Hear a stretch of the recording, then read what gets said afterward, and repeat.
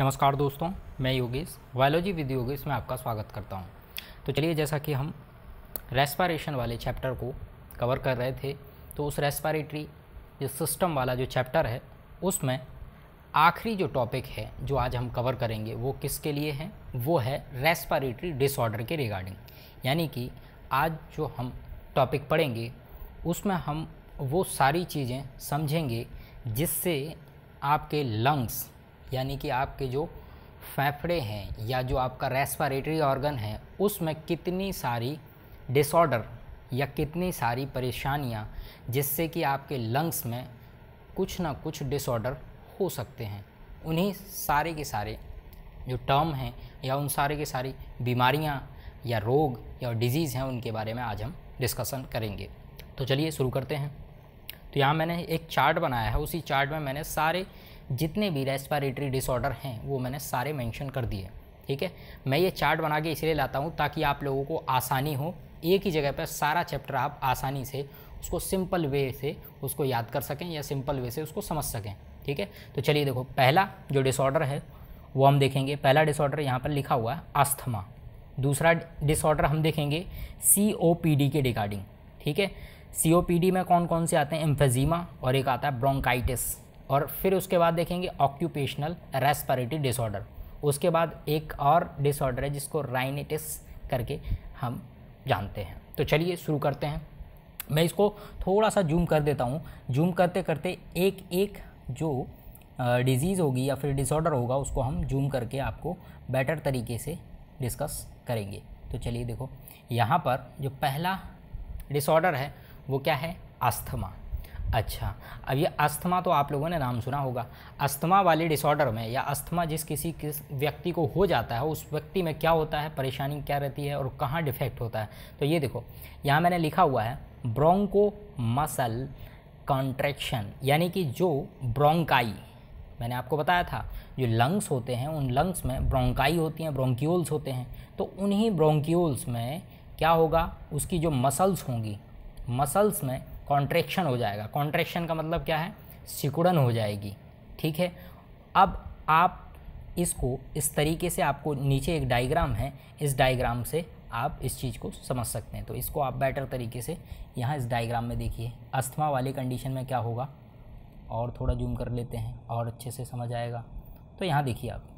यहाँ आप देख पा रहे हैं, एक यहाँ पर एक नॉर्मल लंग्स के ब्रोंकाई की जो डायग्राम है वो दिखाया गया है। ये देखिए, यहाँ से ये ब्रोंकाई का एक डायग्राम यहाँ से निकाल लिया है, यहाँ से ये जूम करके दिखाया जा रहा है, ठीक है? इसको जब जूम करके देखेंगे तो ये जो एयर पाइप है पाइपलाइन जैसा है तो ये एक नॉर्मल व्यक्ति का क्या है? उसकी ब्रोंकाई है या ब्रोंक्यूल है। उसमें ये चारों तरफ़ क्या है? ये चारों तरफ़ ये जो दिखाई दिखाई दे रही हैं आपको, ये क्या है इनकी? ऊपर मसल्स हैं, ठीक है? और आप यहाँ देख रहे हैं कि ये जो नॉर्मल ब्रोंकाई है, इसमें जो ल्यूमेन है, ये जो खाली स्पेस है अंदर के, अंदर का, वो काफ़ी बड़ा है। और अगर इसके ऊपर जो ये मसल है, ये मसल है, ये मसल क्या होने लग जाए? कॉन्ट्रैक्ट होने लग जाए। कॉन्ट्रैक्ट का मतलब सिकुड़न होने लग जाए। तो यहाँ देखिए, यहाँ पर ये जो बनाया हुआ है, ये ये जो सिस्टम दिखाया जा रहा है, ये ब्रोंकाई है। ब्रोंकाई की जो मसल्स हैं, वो आप देख रहे हैं यहाँ पर कितनी ज़्यादा सिकुड़ चुकी हैं, यानी कि कॉन्स्ट्रिक्ट हो चुकी हैं। और कॉन्स्ट्रिक्ट होगा तो ये जो अंदर का ल्यूमन होगा वो कैसा हो जाएगा? नैरो हो जाएगा, संकीर्ण हो जाएगा और कम हो जाएगा। ठीक है? तो ये किसकी वजह से हुआ? अस्थमेटिक जो पेशेंट होते हैं, उनमें क्या होता है? इन्फ्लामेशन की वजह से। अब इन्फ्लामेशन क्या है? तो इन्फ्लामेशन क्या होता है यहाँ पे? एक इम्यून रिस्पॉन्स जो होता है, उसी इम्यून रिस्पॉन्स के रिगार्डिंग ये जो मसल्स हैं, वो इन्फ्लामेटेड हो जाती हैं। ठीक है? तो जो मसल्स होंगी तो आपकी जो ब्रोंकाई की मसल्स हैं, उनमें इन्फ्लामेशन होने की वजह से ये कैसी हो जाती हैं? कॉन्ट्रैक्ट कर जाती हैं, सिकुड़ जाती हैं, जिससे कि क्या होता है, यहाँ का जो ल्यूमन है, वो जो स्पेस है, जहाँ से आप इंस्पायरेशन और एक्सपायरेशन कर रहे होते हैं यहाँ से तो अब वो क्या हो जाएगा? उसका ल्यूमन नैरो हो जाएगा, कम हो जाएगा तो ऑब्वियस सी बात है कि वहाँ से उतने अमाउंट में ऑक्सीजन आ नहीं पाएगी। इसीलिए आपको सांस लेने में तकलीफ़ होगी, सांस लेने में दिक्कत होगी ठीक है? तो ये जो कंडीशन है, ये किस तरह की कंडीशन हुई? ये हुई आपकी पहली कंडीशन जिसको हम अस्थमा के नाम से जानते हैं। तो ठीक है अस्थमा में मैंने क्या बताया? ब्रोंकाई जो है या ब्रोंको मसल्स हैं, वो कॉन्ट्रैक्ट कर जाएँगी। या हम कहें दूसरे शब्दों में, इसको ट्रैकियल मसल स्पाजम स्पाजम का मीन्स भी वही होता है कॉन्ट्रैक्ट करना या फिर सिकुड़ जाना। ठीक है? तो जो ट्रैकिया जो ट्रैकिया है लंग्स में जो ट्रैकिया हैं या जो ब्रोंकाई हैं, उनमें अगर हमें क्या देखने को मिले? उस मसल्स में सिकुड़न देखने को मिले, जिससे कि क्या हो जाए?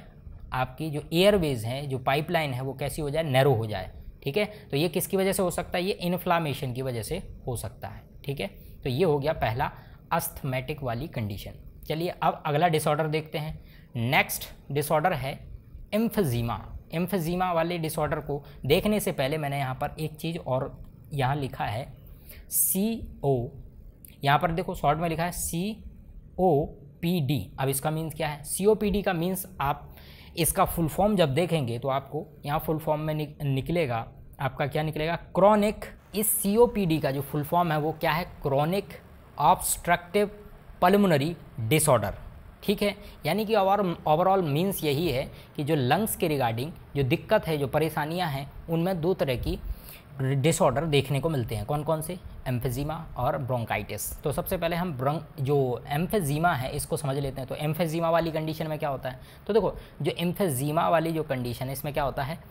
आपके लंग्स के जो एल्वुलर जो वॉल हैं या एल्वुलाई हैं, उनमें जो वॉल होती है, वो क्या होना शुरू हो जाती है? डैमेज होना शुरू हो जाती है या फिर डीजनरेट होना शुरू हो जाती है।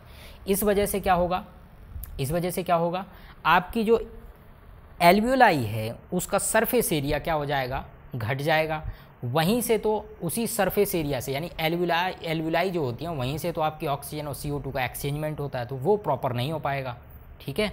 और ये जो है, यहाँ देखो नीचे लिखा हुआ है mainly caused by mainly caused by cigarette जो आप सिगरेट पीते हैं, उसमें कुछ ऐसे केमिकल होते हैं जो कि आपके लंग्स के अंदर जो एलिवलाई हैं, उनके वॉल को डैमेज करना शुरू कर देते हैं।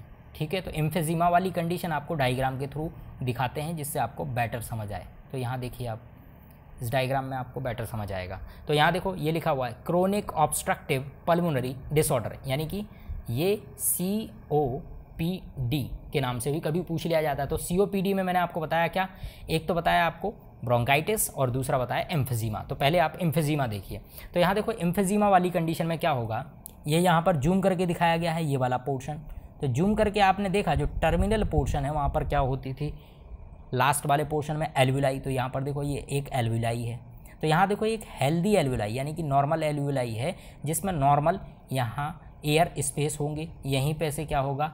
यहीं से कैपिलरी के द्वारा क्या होगा? एक्सचेंजमेंट होता रहेगा गैसियस एक्सचेंज लेकिन क्या होगा? यहाँ आप देखिए, यहाँ एल्वुलर मेम्ब्रेन डीजनरेट हो रही है, यानी कि डैमेज हो गई है। देखो डैमेज हो गई है। तो यहाँ जो एल्वुलर की जो वॉल है, वो क्या होनी शुरू हो जाएगी? डैमेज होना शुरू हो जाएगी। जिस वजह से क्या होगा? सरफेस एरिया में दिक्कत आएगी सरफेस एरिया कम हो जाएगा, जिससे कि गैसियस एक्सचेंज भी क्या हो जाएगा? कम हो जाएगा। ठीक है?